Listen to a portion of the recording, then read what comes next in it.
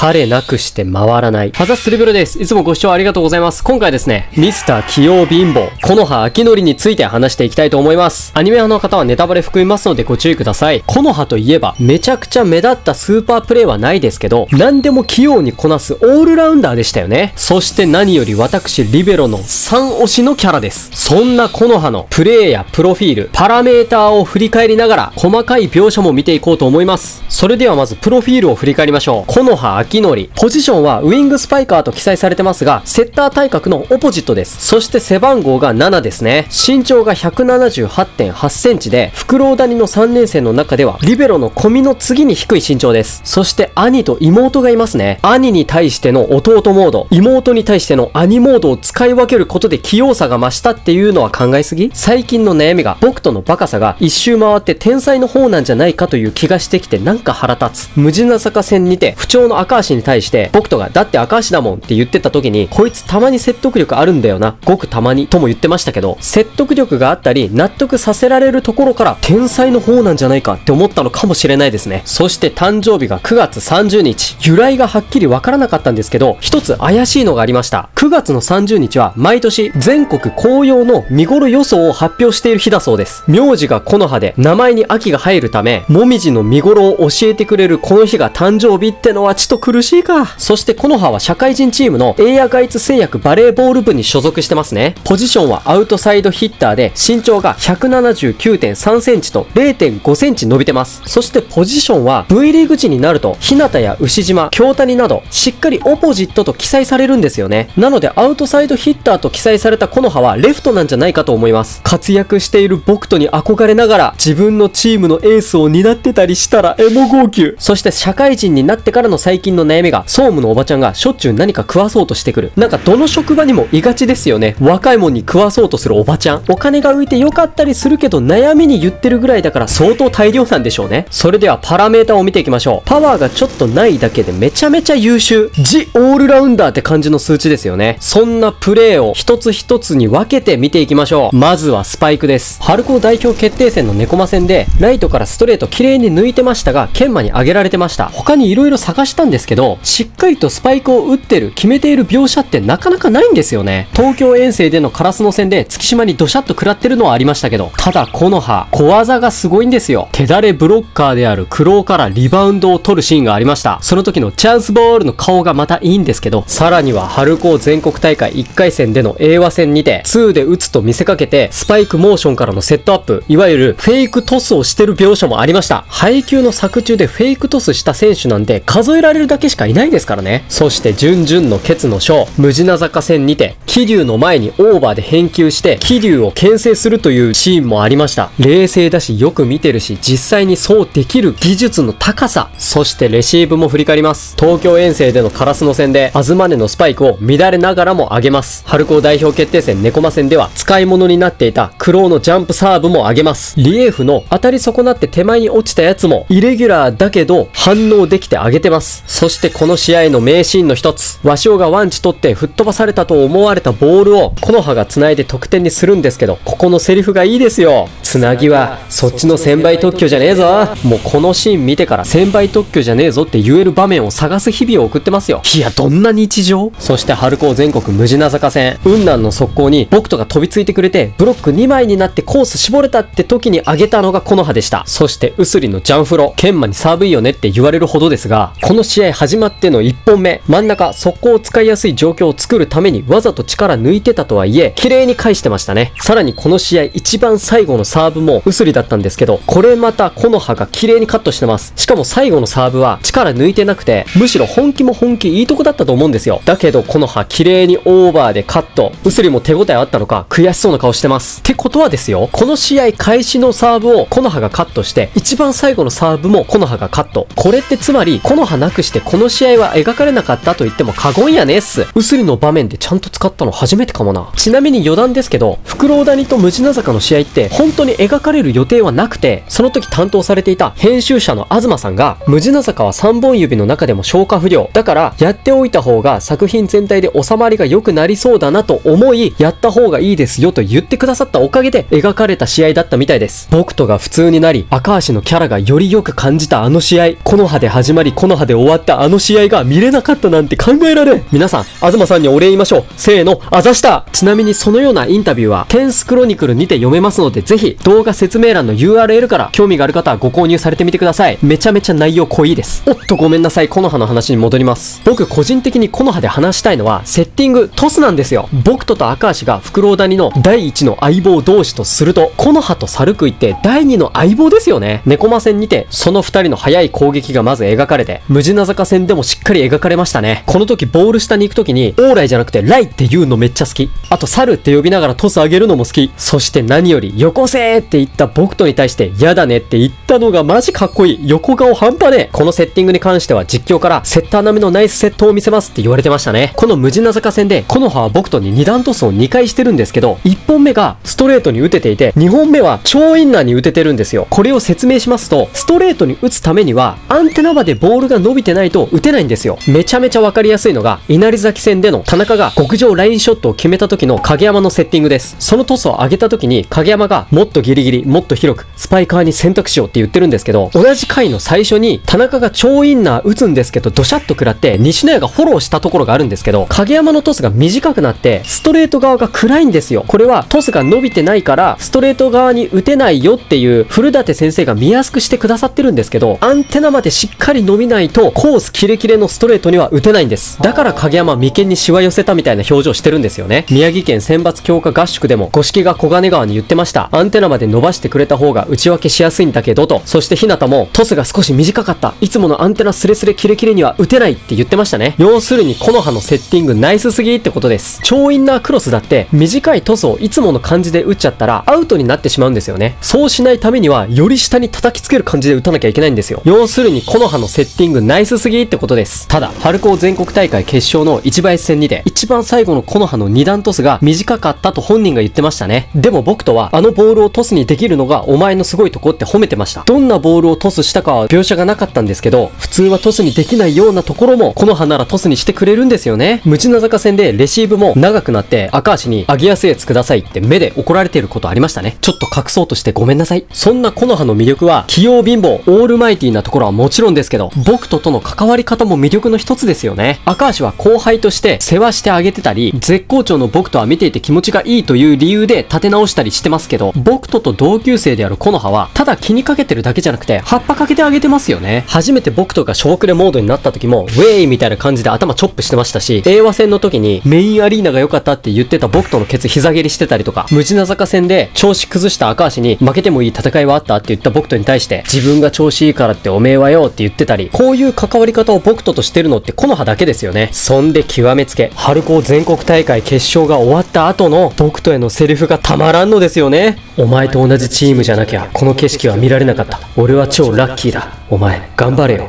超頑張れよ。めちゃめちゃめっちゃ応援してっからな。ただのエース。僕と心から信じてるセリフですよね。まあ、本当に手を焼いたけどとも言ってますけどね。そしてプラス後輩思いなところもありますよね。入部したての赤足に僕とから逃げたくなったら言えよとか、英和戦の後にたまには僕とスルーしてもいいんだからなと気にかけてあげてたり、無人な坂戦で止められたオナガがすんませんって謝った時にウェーイって背中叩いてあげてたり、僕とに対してだけじゃなくて後輩、つまりは全員にやさおなんですよね。僕とが赤足に一回変わればって言った時におめえはよって言ったのも赤足のこと思っての注意ですよね。まあこの時は僕との説得力があったんですけど、イケメンで優しい木の葉ですけど、東京遠征のバーベキューの時、清子さんナンパしようとしてました。ん？別に悪いことじゃないか。ということで私、リベロ3推しの木の葉の紹介していきました。配給のいろんな動画どんどん上げていきますので、チャンネル登録にて応援よろしくお願いします。ということで本日もあざした